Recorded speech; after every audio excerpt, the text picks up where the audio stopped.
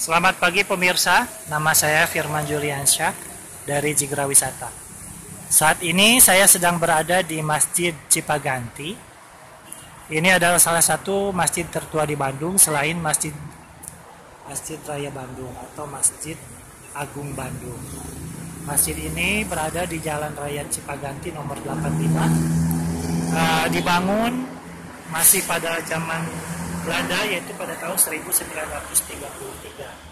Salah satu atau arsitek dari masjid ini yaitu Profesor atau CPW Shoemaker. Shoemaker ini salah satu arsitek kenamaan pada zaman Belanda dan ternyata Shoemaker ini sudah masuk Islam pada tahun 1931. Jadi setelah dua tahun masuk Islam, dia merancang masjid ini. Adapun arsitektur dari masjid ini adalah paduan antara arsitektur Eropa dan juga arsitektur Jawa atau Sunda. Seperti ini, ini ada semacam terasnya. Kemudian jendelanya kita lihat fasadnya kerasa uh, Jawanya. Dan ini pernah direhabilitasi. Itu tuh Ini pada tahun 88. Ini yang aslinya. Nah, ini yang Nah, aslinya pangemut-ngemut ngadegna masjid Cipaganti. Pangemut-ngemut itu semacam peringatan memperingati ya ngadegnya itu pembangunan. Ngawitan dipidamel di Naping 11 awal 1 tilu 5 hiji ya. 7 Februari 1933 diistrenan atau diresmikan di Naping 11 awal 1352 atau 27 Januari 34. Berarti pembangunannya kurang lebih satu tahun. Batu kahiji dipasang ku Asta, namanya Kangjeng Bupati Bandung, Raden Tumenggung Hasan Sumadipraja.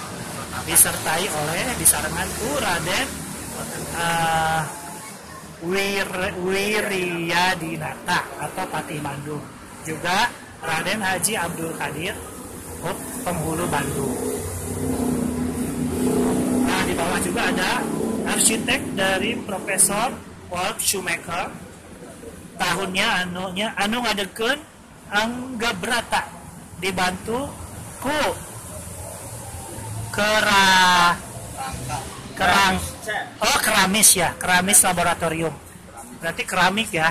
Artinya masjid ini di ya menggunakan bahan keramik. Bapak ada yang mau disampaikan Pak? Diceritakan? Ya, kami ya. sebagai generasi kesekian dari kepengurusan di Masjid Besar Cipaganti ini ingin tetap menjaga masjid ini supaya lestari baik secara fisik bangunan ataupun bisa atau mampu membina umat generasi berikutnya sehingga mencerminkan bahwa Islam itu damai. Buktinya seorang Belanda yang tadinya penjajah pun masuk Islam. Itu karena dakwah-dakwah yang disampaikan oleh para sesepuh kita dakwah yang cukup eh, kondusif dan menyenangkan serta tidak menumbuhkan kekerasan perpecahan jauh daripada itu. Itu terima kasih Pak.